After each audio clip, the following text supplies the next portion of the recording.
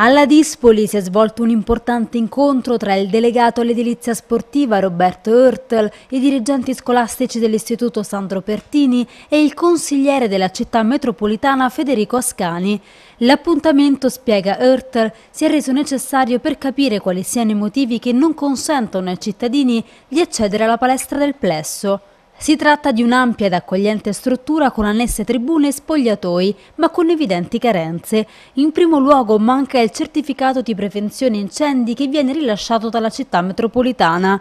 Inoltre è necessaria una manutenzione ordinaria di piccole entità, ovvero la sostituzione di una porta d'uscita d'emergenza e delle caditoie di raccolta dell'acqua piovana sul tetto. Sarà impegno mio dell'amministrazione, conclude, sollecitare gli uffici competenti affinché vengano effettuati questi interventi. E sempre alla Dispoli la dirigente dell'Istituto Superiore Giuseppe Di Vittorio e il sindaco Alessandro Grando hanno firmato un documento congiunto che prevede una cooperazione a largo raggio per promuovere iniziative ad alto valore formativo a favore degli studenti.